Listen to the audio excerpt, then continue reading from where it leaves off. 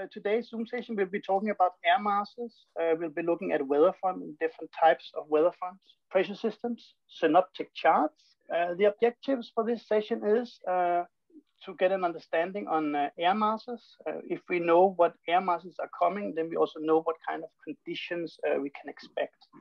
We'll be looking at different weather fronts, high pressure systems, low pressure systems, and then how to read uh, a synoptic chart, how to uh, understand what's going to happen with the weather from a synoptic chart. Okay, so air masses. If, uh, as I mentioned earlier, if we know um, what type of, uh, what kind of air we are, uh, that's coming with the wind, then we know what condition they will bring. In the, uh, in the UK, the prevailing winds are southwesterly, and that means that the wind uh, is coming from the Atlantic. It will be what we call a tropical maritime air mass.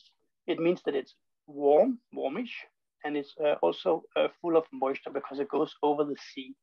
So when it arrives in the UK, it normally brings uh, clouds and rain and also mild weather, not so cold.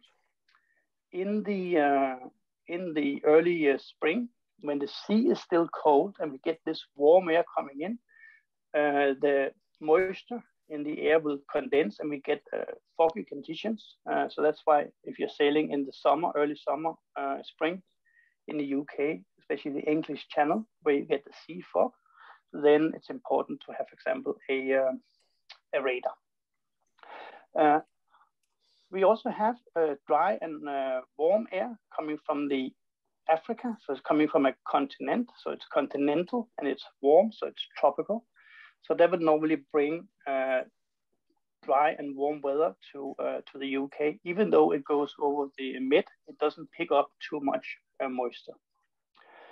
Another uh, air front uh, air mass that we have is the uh, polar continental air mass.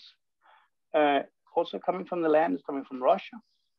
It's cold, it's the beast from the east. Uh, so it, it, normally brings a very cold weather in the in the winter. It can also bring some uh, some snow and rain because it goes over the no, North Sea and then it picks up um, uh, some moisture from there. Uh, the other major air mass that we have is the polar maritime air mass. Uh, it starts from Canada, Greenland. It starts very dry but it goes over the uh, North Atlantic and it picks up a lot of uh, moisture from there. And um, that will bring uh, uh rain and snow to, uh, to Scotland and to Ireland. That's why Ireland is so, uh, so green, yeah? Like St. Patrick's Day yesterday, nice and green hats and everyone, yeah? So that's probably where they got the green from, yeah? All right, so if you know what kind of wind uh, air mass you're getting, then you have a very good idea what kind of conditions they're gonna gonna bring. Um, weather front, what is a front? So we have, if we have cold air and we have warm air or moist air here, then it will not mix. Um, it's like oil and water, so that we have a front here when we first see the front like this, or the two different air masses, we do not know if it's a cold front or uh, a warm front. It's only when one of them, it's like an army, two armies, and then when one of the armies become uh, dominant, then we know what type of front it is. So here, the warm, moist air has become dominant. We have a warm front here. This is the symbol of a warm front.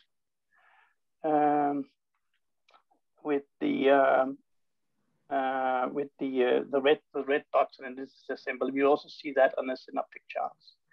Chris, if the yeah, sorry. Yeah, there's a question from Christopher Jones. How do you know yeah. what air mass is incoming? Is it part of the weather forecast? Uh, no, you know the direction. Uh, you know it from the direction. So if a southwesterly wind, you know that will come from the uh, from the tropics, uh, from the well, from the equator, warm uh, part of the uh, Atlantic. If it's coming from the east, it will come from Russia. As in the UK, I'm talking UK. Yeah?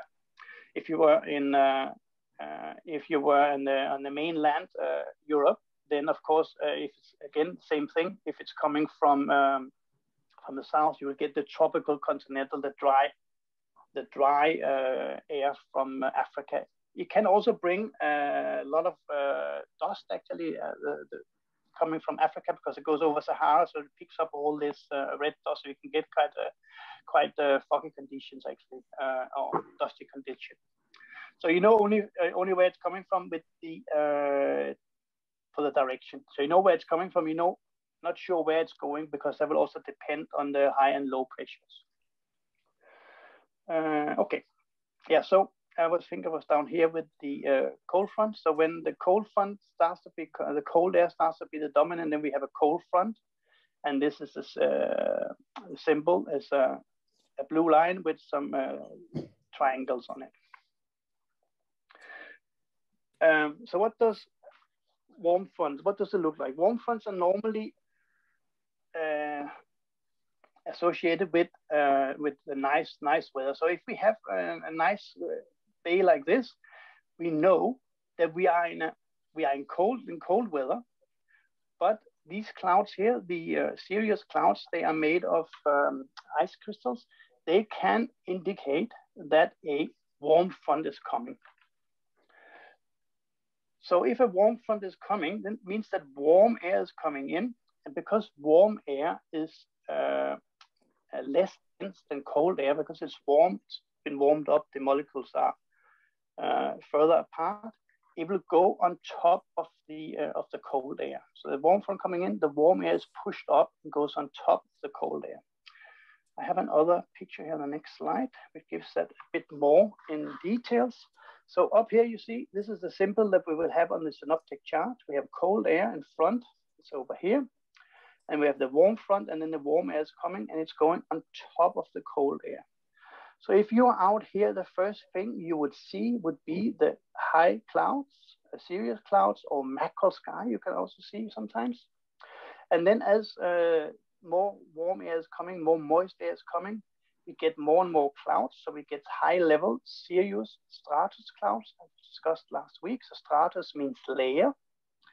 And as uh, the air comes in, then we get a middle layer here, altostratus, more layer clouds. And then in the end, just before the warm front, we get nimbo. Nimbo means rain bearing. We get nimbus stratus clouds, so rain-bearing layer clouds here, and we get a lot of um, uh, rain just in front of the uh, warm front.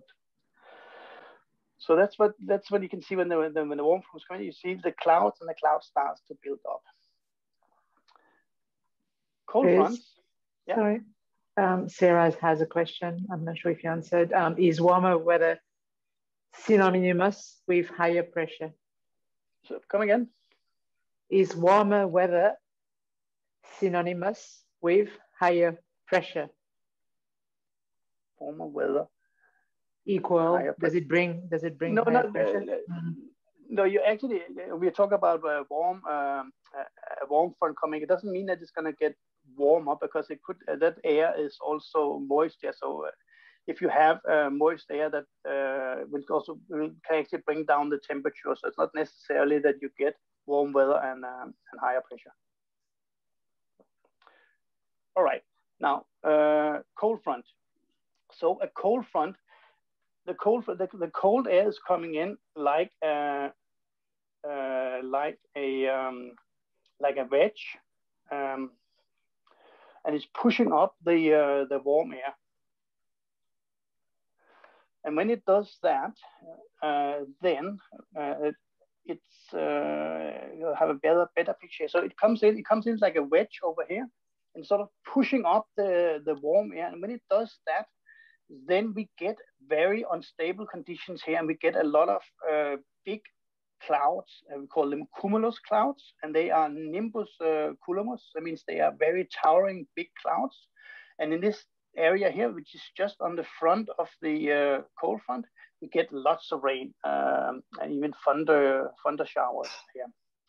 And then after the uh, after the cold front um, has passed, then we start to see we can see some uh, it clears up and we get some blue skies. We can still get some one or two uh, cumulus clouds out here, which can give us uh, some small showers. I have uh, I think on the next one here. Yeah, here I have them both together.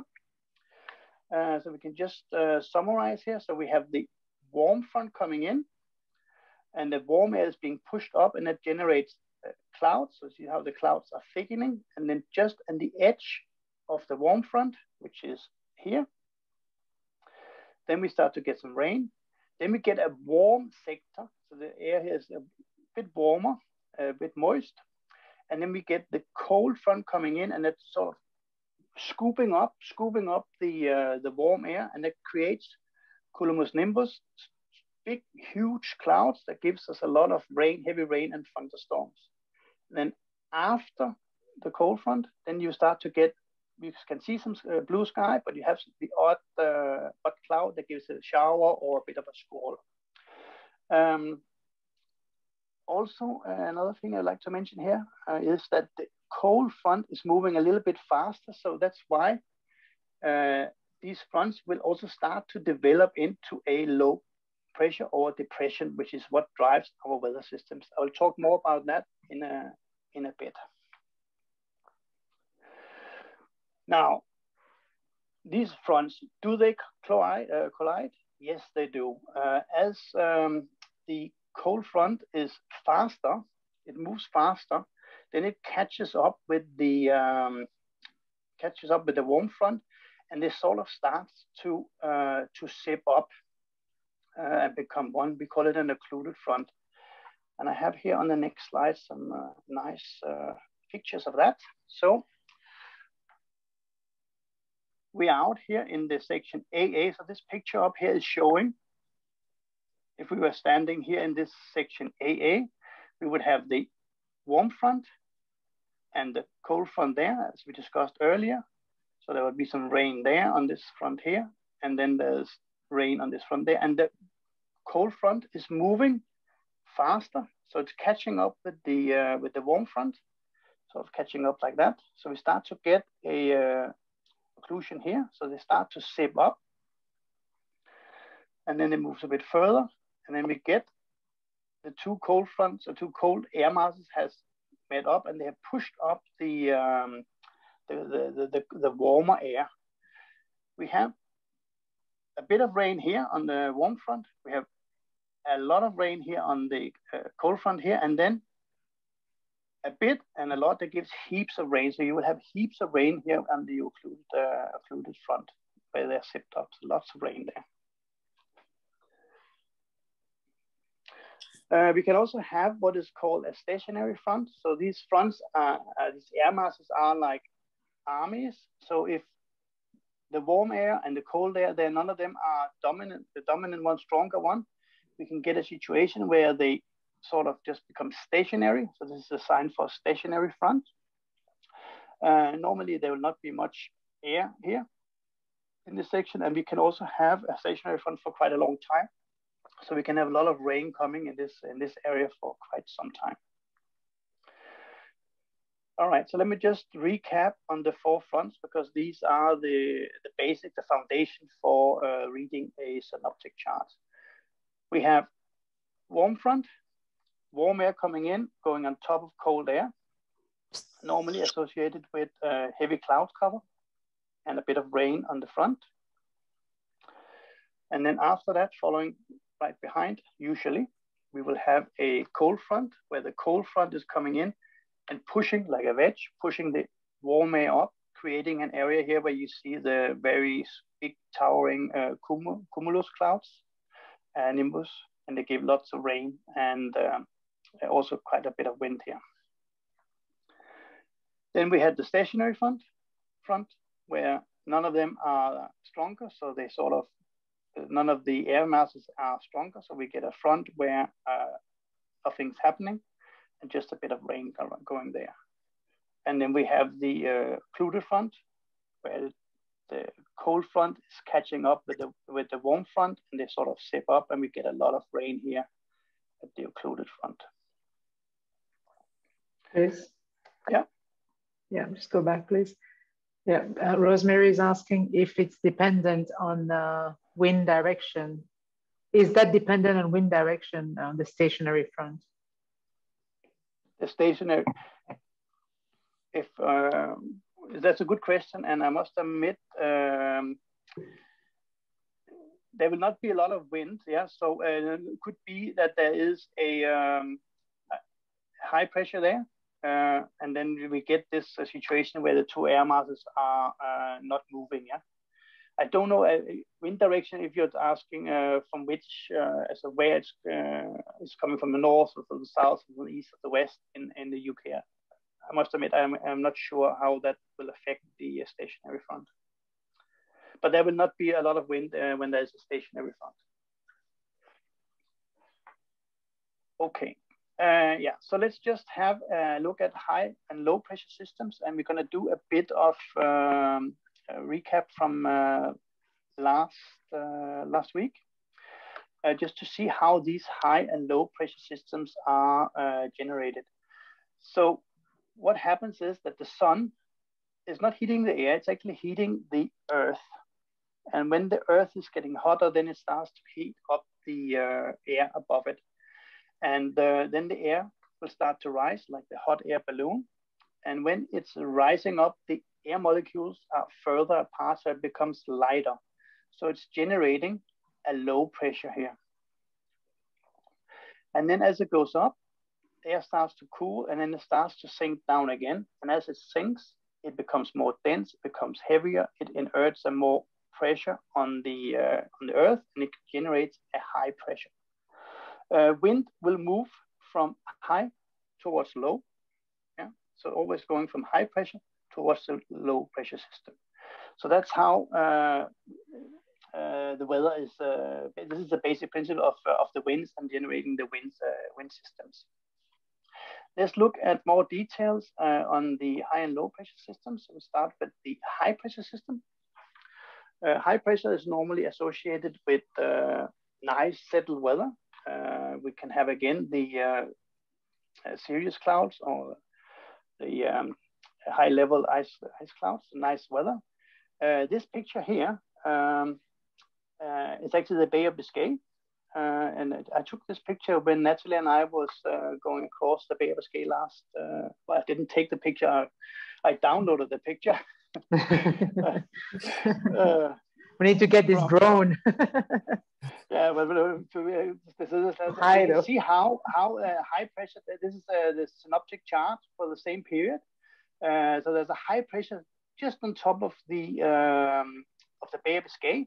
You can see that you have the isobar here. These are the lines of uh, equal pressure and the synoptic chart, and they are widely apart. That means that there is a very little wind very light wind in this area. So high pressures are associated with nice uh, weather, uh, low winds. And uh, we went we went actually across uh, on this uh, on this high pressure, and this is what it was looking like when we were sailing across. I don't know if you can see that. Mm. light winds. It was great for spotting dolphins, and we saw also a few whales, but, but not so great for sailing anyway, the more wind came later and we went across in, uh, in less than four days. So it's quite nice. Low pressure is the complete opposite of uh, the high pressure. It's like an angry toddler, yeah? Uh, very, very uh, aggressive system. You have here a uh, cyclone actually from, I think from the Caribbean. And you can see how the, the wind is moving around here and being sucked into this uh, low pressure system. You can also see on the uh, synoptic chart, here, there's a synoptic chart here. It's not from the same situation, but it's a low pressure. And you can actually see this system has already started to uh, decay a little bit, but it's very angry, very, very narrow uh, the, the isobars, the pressure lines here on the synoptic chart, very, very close. There's very, very, very strong winds here. Yeah. So low pressure uh, system cyclones are very angry systems, and uh, the wind is uh, being sucked in there to these systems. Yeah. Okay. Uh, so these uh, warm and cold fronts, these are also the ones that uh, generate uh, the depressions or the low pressures, which are actually the ones that drives the weather um, in the UK. Or all the depressions are coming from from west uh, moving uh, to, towards the east. And the way a depression is, uh, is building up is that we have the warm front and then we have the cold front and the cold front is catching up and it gets like, you can say like spiral, if you want, yeah, the spiral, and that generates this kind of system here, and then we start to get an area in here where we have a very low pressure. It is also affected, uh, of course, uh, by the jet streams that we discussed a little bit about um, uh, last uh, last week, uh, because those uh, jet streams, those super conveyors of air streams, are sort of supercharging and driving these these pressure systems, these depressions. after some time, um, the system will start to decay. Uh, that's when the uh, cold front is catching up further with the warm front, and then they start to zip up as we discussed earlier. So we got a bit of rain on the warm front, lots of rain on the cold front, and then heaps amount of rain here uh, where the two fronts uh, they meet up. Chris? Yeah. Yeah, uh, there's a question from Howard. So how can you tell the path of a depression how can you tell a path of the depression? Uh, they will normally move uh, the, in the uh, northern hemisphere. They normally move uh, towards the uh, towards the east. Yeah, you cannot uh, you cannot um, you know. For example, when they have cyclones, you cannot exactly predict where those cyclones are going. And also, um, we have something called blocking highs, for example, uh, at the Azores. I will talk about it a little bit later. And high pressure um, can actually, because they're pushing the air out, they can also sort of push these uh, pressure systems away and, uh, and, and, divert these systems. Yeah. Um, so it's difficult to say uh, exactly uh, the path of it. Uh, in the um, in the weather forecast, many times you will have also they will also mention how fast these systems, the depressions are moving. Yeah. Um, so if you start to do a deep dive into um, into weather forecasts from the from the Met Office. Okay. Uh, yeah, so a bit of physics is also good, but a bit of physics on a first uh, evening. Uh, so we have something called uh, Buys-Ballot law, and uh, that tells us if we are on the northern, northern hemisphere, if we are on the southern hemisphere, it's the other way around, that if we are standing with the, our wind, uh, with the back to the wind, then we will have, on the left-hand side, we will have a low pressure system and then on the right-hand side, we have a high pressure system. Also, um, if you look at the high pressure system, you can see how the uh, wind is moving around in a clock, uh, clockwise direction. And it's move, it's pointing a little bit outwards, yeah, because the wind uh, in a in an anticyclone and in a high pressure is always uh, moving out and it's moving over to the low pressure. So they're moving a bit outwards. In the low pressure system, you can see how the wind is moving a little bit inwards because they're being sucked in into this. this is a convergent system. It converge into here. So that means that if we are down here in this area here, we would have a southerly wind down here. The same thing we would have over here. We have southerly winds here. And then where we are standing, the wind will be coming from the north. So when you are looking at the synoptic charts, when we're looking at later, then we can see which, uh, which way the wind are going because we will look at the high and the low pressure systems and the uh, iso, isobars, these are the isobars. And then we can see what kind, what kind of direction the uh, wind will have. And also we can get an idea about the strengths uh, of the wind in that area. All right, so uh, synoptic charts before I start talking about that, I'm just going to do a so, synoptic chart. So we have a synoptic chart. So one I uh, downloaded uh, this Monday. Uh, we can see a lot of information on that. Uh, we have over here, we have a, uh, low pressure system. This even says an L on it, so you can see there's low pressure system. You also have the, uh, the pressure here, the 965 is quite a low pressure this uh, pressure system has already started to decay a little bit. So we have an occluded front here, and then we have cold front here, and we have uh, lots of warm fronts here.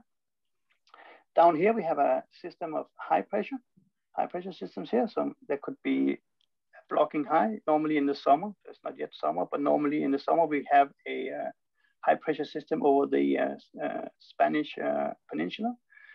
Uh, you might have heard about in the weather forecast that they talk about the Azores high. So there's also sometimes in the Azores high, they can also be block, uh, blocking when the depressions are coming uh, this way here. So they will block them and push them uh, towards Iceland. Uh, we can see up here that the uh, isobars are very, very close. There will be lots of wind up here. A good way um, to learn how to use and read these synoptic charts is, uh, for example, uh, when you sit and having breakfast in the morning and you look out and you see the clouds outside, then have a chat with your better half uh, about what kind of weather it is and then where you think you are on the uh, synoptic charts. And then go and uh, download the synoptic charts. They're available on the Met Office and then see if you are right. Uh, you can of course also do that when you go for a walk in the evening and you see some red sky and you see some clouds and try to guess where you are in the uh, in uh, if you're in front of a warm front, a cold front, so on. Uh, another way you can also do is go on the internet and then I quite like Windy. So let me bring up Windy here. So I took a picture from a, snapshot of Windy, sort of the same the same time as this uh, synoptic chart. So you can see we have Greenland up here on the uh, on the Windy. There's Greenland and then we have the low pressure below there, which is uh, also low pressure here. And you can see that we have uh, dark red here. That means lots of wind here. Uh, so there's also lots of wind here in this area here. Another thing that uh, Windy can do is can show us the rain.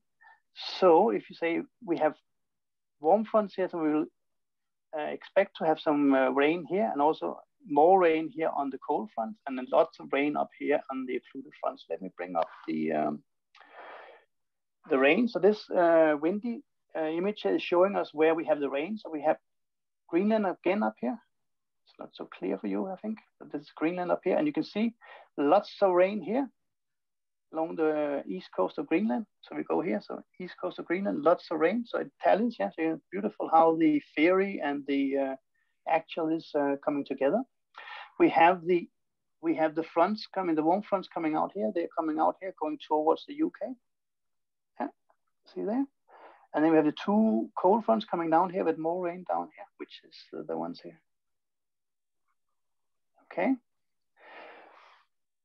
It goes into a higher, higher level now because, as you might remember, after the cold fronts, we will have an area where there will be not so much clouds, yeah, maybe blue skies. Windy can also show us the clouds. We can have a satellite. So, there we go.